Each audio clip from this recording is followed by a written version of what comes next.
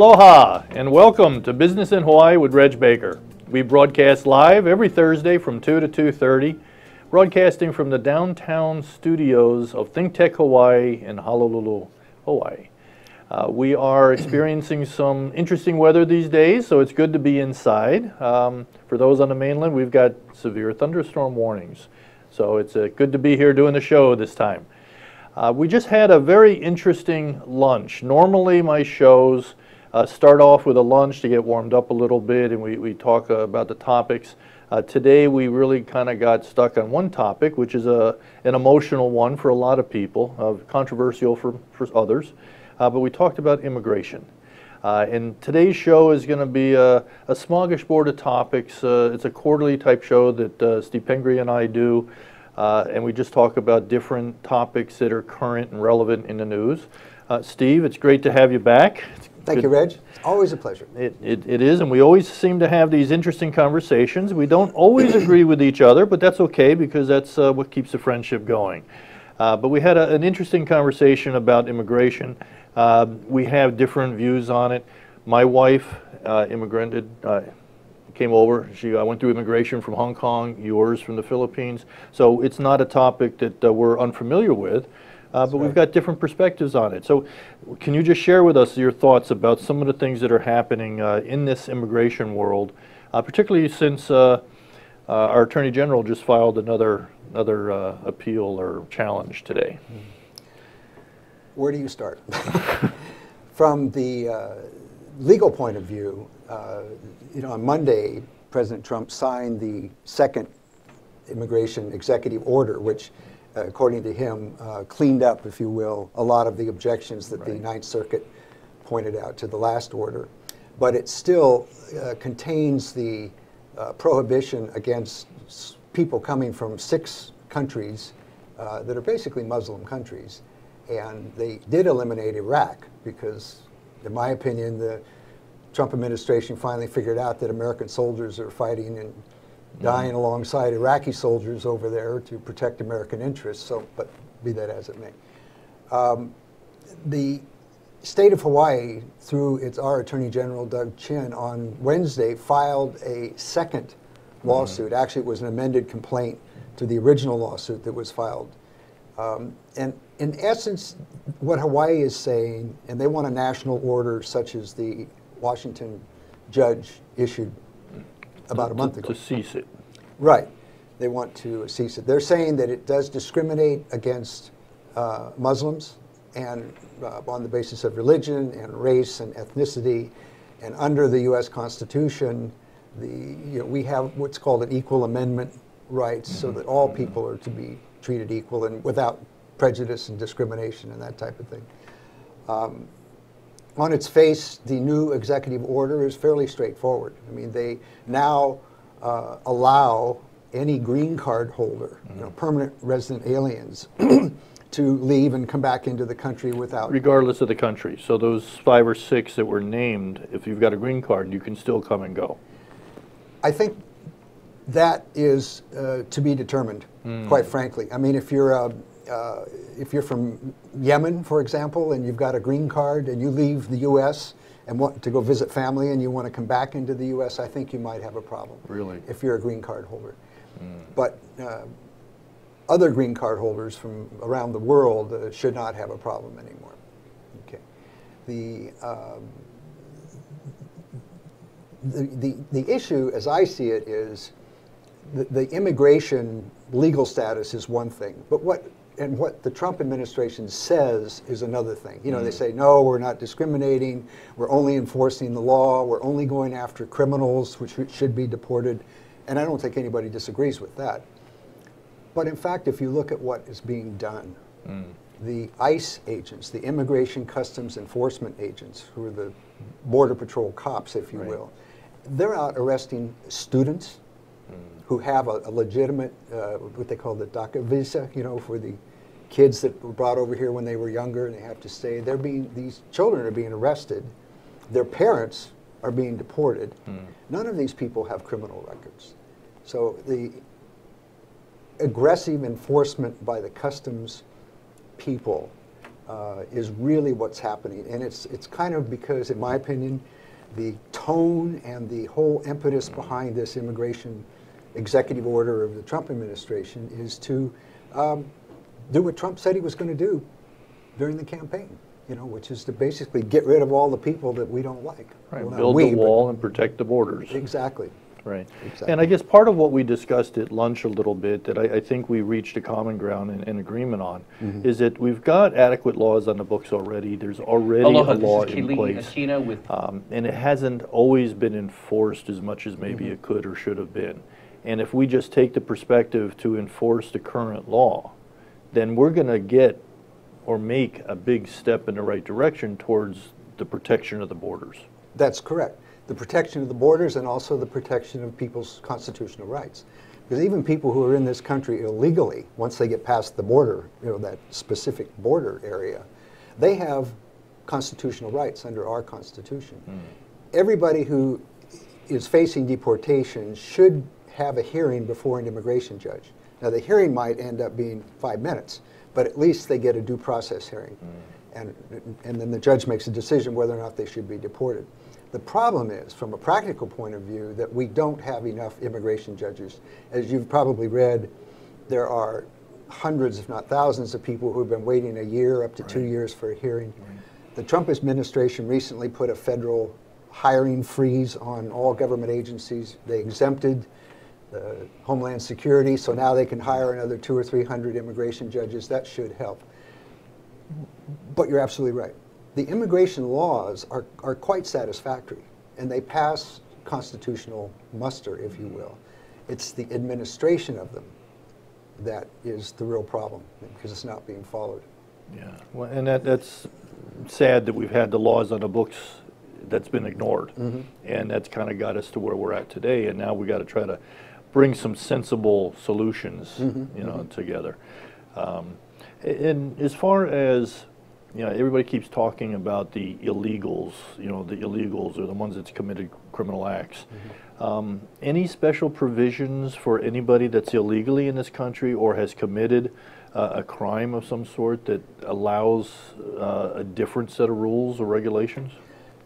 For many, many years, there has been an immigration law on, on the books, and it's supposed to be enforced, that any person who's not a U.S. citizen, who is a green card holder or here on a tourist visa or student visa or HB1 visa, whatever, if, if they're here and they're not a U.S. citizen, if they commit a crime, they are subject to deportation.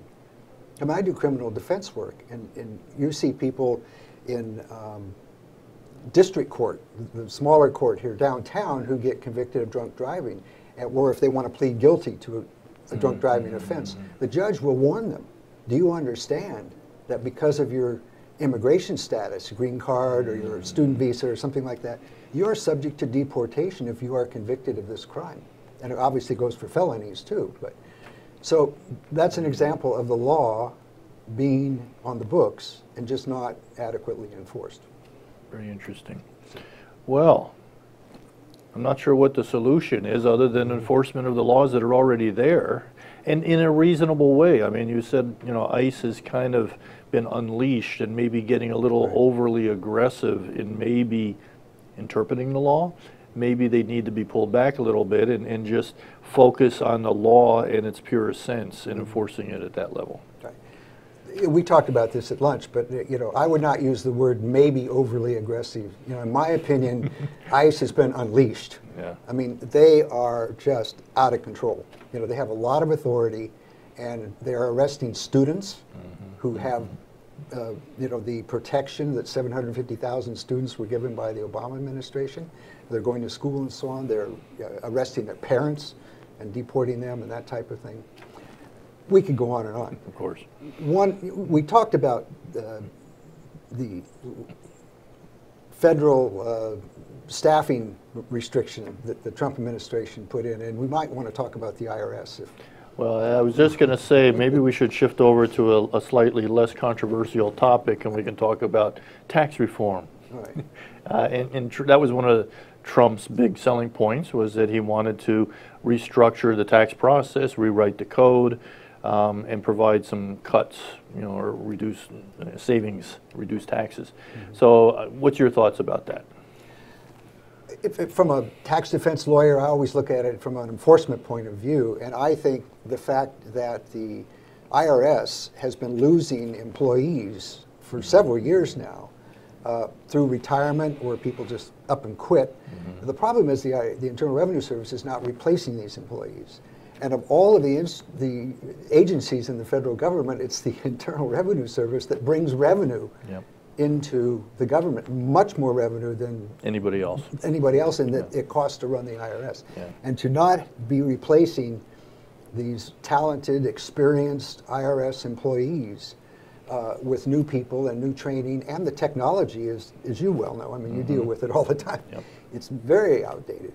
So that is, in my opinion, a, a real failure of the Trump administration to this point. You know, the, the technology has helped a little bit, and you're able to get information online more than you've ever been able to before, which has got its pluses and minuses when you factor in the cybersecurity issues and that sort of thing. But, you know, they have made some advancements in the technology side. Um, what worries me, to, and to your point, is that there's an awful lot of institutional knowledge. That talent is leaving, and it's not being replaced. And you can't replace 25 years of experience with somebody who's just started a few years ago. Uh, there's just a lot of ways that the system works that you've got to be there to understand. Uh, and to get through the maze of trying to resolve some complicated tax issues, you need people with that experience, and that's becoming difficult to find now. It is, and when you hire new people, what kind of people do you get? I mean, you get bright young college graduates with zero experience, Yeah. pretty much. Yeah, it's a tough environment, and I think with the, the cuts too, uh, I think some of not only the enforcement but also the audit side uh, is going to be hurt a little bit, and and a lot of people may applaud that, uh, but I think, you know, what's happening is that the audit function is becoming more focused and more narrow on specific areas where they will get the biggest potential return, which means large companies, uh, international tax issues, and maybe some of the very high-end wealthy individuals are going to be getting looked at a lot more closely than anybody else, which means that compliance may start to suffer.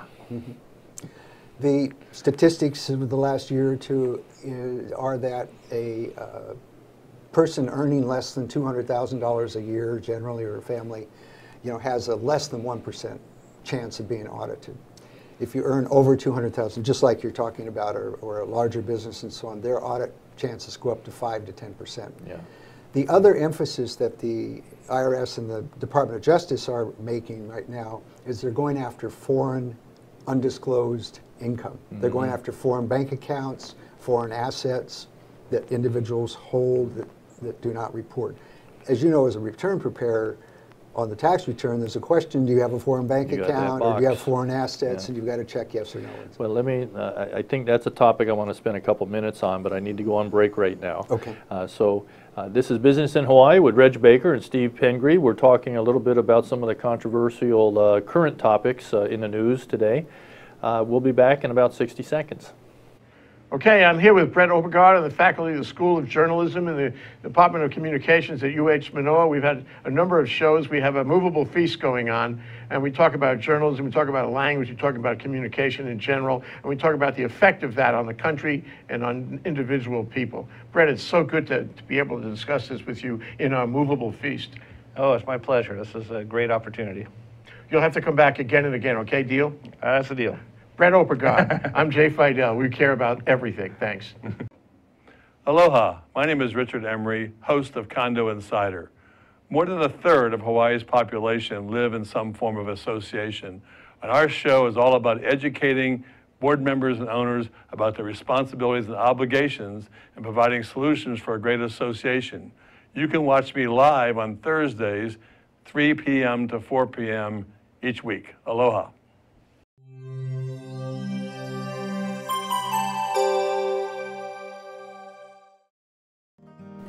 Aloha and welcome back to Business in Hawaii with Reg Baker. And today I'm interviewing Steve Pingree, who's uh, an attorney and focuses in the tax area among other areas. Uh, and we've, we've had some interesting conversations so far about immigration. We're just now getting into tax issues a little bit about some of the changes that may be happening. And we were just touching base a, a little bit, Steve, on the, the foreign bank accounts.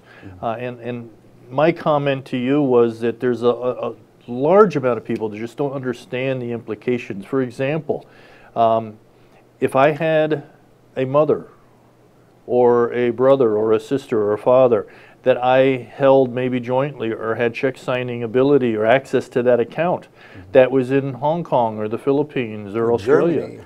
Germany, wherever, um, that's supposed to be disclosed. That's right. You know, and a lot of people don't appreciate that. That's right. And the last, well, 10 years, but specifically in the last five years or so, the Department of Justice and the Internal Revenue Service has become extremely aggressive going after foreign bank accounts and unreported income. I mean, it's in the, according to some estimates, the trillions of dollars of unreported money uh, that U.S.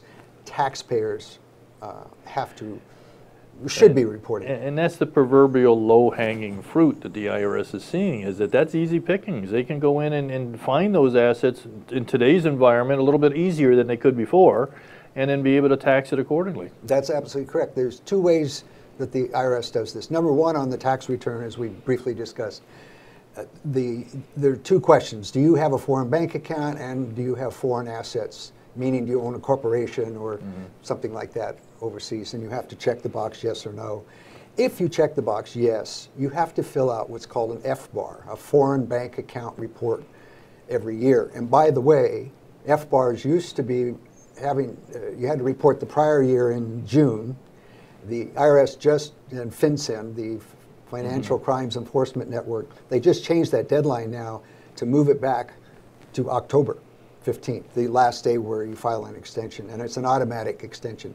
But the FBAR form has to be filled out, and people don't know that. A lot of tax preparers either don't know it or they don't tell their clients. about Well, and it's not that complicated a form to fill out, at least the ones that I've been involved in, and those were pretty straightforward bank Right. account or, or brokerage account type of, and, and essentially, and, and add to this, but it's basically name, address, account number, balance, that sort of information, right? That's correct. The, um, the other thing that, uh, the other action that the federal government, the U.S. federal government has taken is they passed a, a law called the Foreign Account Tax Compliance Act, or FACTA. What this does is the American government went out to every bank in the world, in the world, and all of the bank branches, and said, you must report to the IRS the accounts of any U.S. citizens that are in your bank. Wow. And if you don't, you will be cut off from the, using the U.S. financial system. That, that's a big hammer. That's a big hammer. And so right now, there's about at least 200 banks that are reporting to the IRS. So if, and the, the problem is if, if, and we have a lot of people who are dual citizens here, Philippines, Japan, China, Malaysia, Korea. Uh, if, if you try to open a bank account or even have a bank account in, in your home country, for example, they are now coming back to U.S. taxpayers and having them fill out this mm-hmm. FACTA information. Mm-hmm. And, and you know, if you if, if the IRS learns from the foreign bank that you have an account in that bank, and then they do a cross check and they find out you haven't reported it through the FBAR, You or you some- checked your tax return Yep, no, when in fact it was yes, uh, it could be a big problem. You got some explaining to do, but wh- what are the implications, Steve? I mean, what happens if they do find an account that was out there that had, you know, $100,000 in it? What are the penalties and the fines involved? Are you familiar with that? Yeah, there's, there's basically uh, what they call a kind of a negligent, you know, no intent uh, violation, and that's like a $10,000 fine. If they, if the IRS finds out that it was an intentional uh, non-disclosure of this bank account, the fine can be up to 50% of the highest balance Wow. in that account. Over a Over a 12-month five-year period. Five years? Yeah. So in other They- words, if they had a big balance and, but it came down, they'd have to pay 50% of that. Of that year, right, Wow. and every year. You know. Wow. So, in you know, hundred thousand dollars, quite frankly, for a lot of offshore bank accounts, is not a lot of money. Most people have a million or two or 10 or mm-hmm, mm-hmm. something like that. So, the, the fines are horrendous. They- They're they very draconian. be.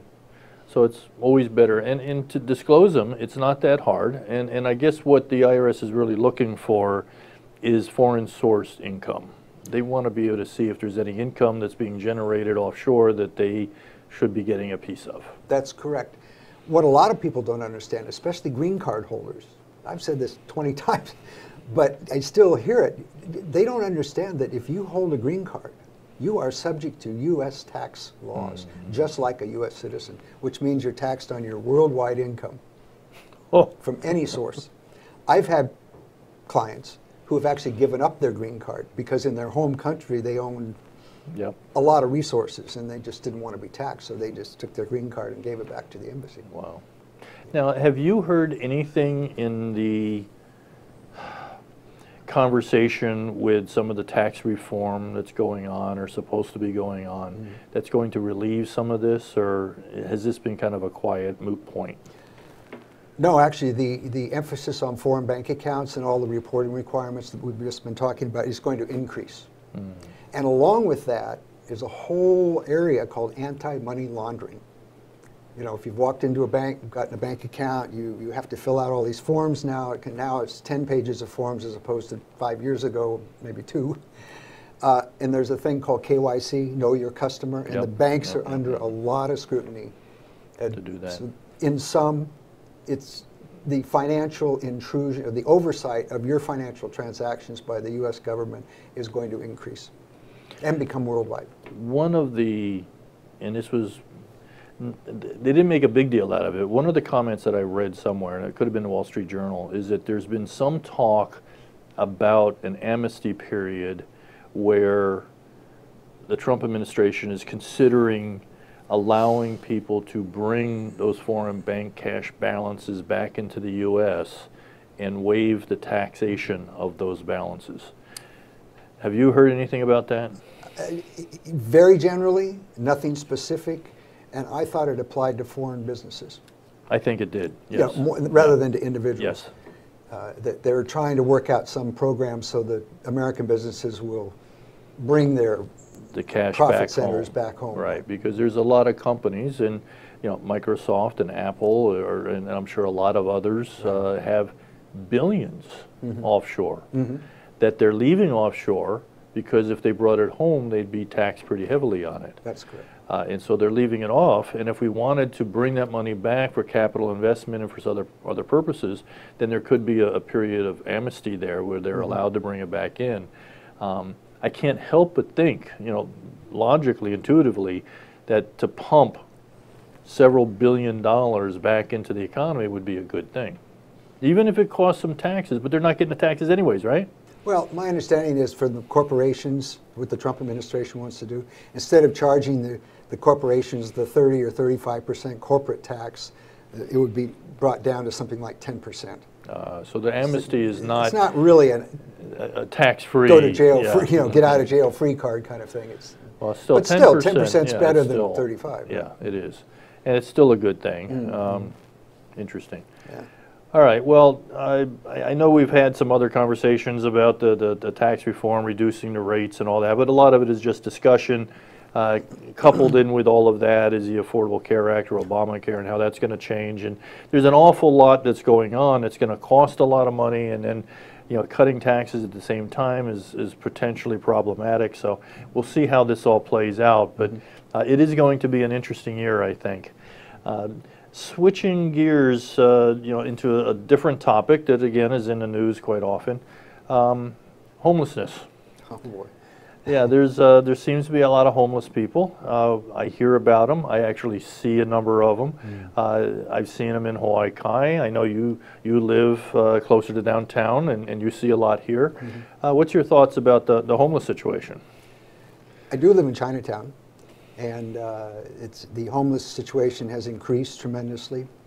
Uh, what I see coming out of the city and the state is, is all this talk about providing housing for people. Well, they're really only talking about 150 houses or 250 houses, and you know, and they're arguing about the funds and all that kind of stuff. In my opinion, it doesn't get to the heart of the problem, and that is 30 to 40 at least percent of the people that are homeless are mentally ill. I mean, mm. truly unable to take care of themselves. You know, you, I see them every day walking around Chinatown or lying on the street or sitting there just mumbling to themselves. Yep. These people need help. And the city has been defunding or not funding the few nonprofit organizations in the city that provide that. that provide that mm. kind of help. Mm. And what the city has been focusing on is moving these people off the sidewalk because the tourists don't like to see them. You know, and the businesses don't want the homeless people capped out in front of them. But all they're doing is they're just moving pieces on a game board, Well, in and my Steve, opinion. I can't help but think that some of these people wouldn't want to go into these homes anyways. The only way to keep them in there and off the streets is to put a lock on the door and not let them out. part of that is due to a person's mental illness. Mm-hmm. You know, they need treatment. And the sirens in downtown area of Honolulu have increased in the last year or so And why is that? because the homeless people are being picked up by these ambulances and taken to Queens, for example, mm-hmm. hospital, mm-hmm. to the emergency room. And the Queens emergency room is being overwhelmed with these people. And as one doctor was saying, you know, these people need some type of a clinic where they can go for a $59 visit instead of a $5,900 visit Yeah. to the ER, you know. Yeah. And Driving health care, health care cost up across the board. I mean, that's one big component of Well, it. and also, if, if you think about it, denying health care to people who really need really it need it, because exactly. they can't be seen. I think a mobile clinic, in my opinion, Mm. if the emphasis were put on mobile clinics that could go out and have some professional people, you know, nurses and doctors and paramedics and things like that, yep, you know, could be on the spot and could give give some treatment to some of You these know, people and, would help. we're in the closing seconds of the show. Oh, I'm sorry. And so, you know, my, my comment about this is that, you know, we've got this increasing need for healthcare and healthcare professionals, but at the same time, we're seeing those numbers drop. And we've got physician shortages and nurse, uh, nurse shortages. You know, it just seems to be opposing. It seems that if we don't do something, it's just gonna get increasingly worse. Mm-hmm. So let's, uh, maybe our next show, we could talk a little bit about some of the solutions. That's a thought. All right. Uh, This is Business in Hawaii with Reg Baker. We broadcast live every Thursday from 2 to 2:30. Uh, Generally, we talk about uh, subjects of of business nature, that uh, success stories of businesses in Hawaii and individuals. Uh, But occasionally, we also talk about current topics uh, that has some impact in the business community. And and today, all of our topics, of course, did. Uh, We hope to see you next week, next Thursday, 2 o'clock. Until then, aloha.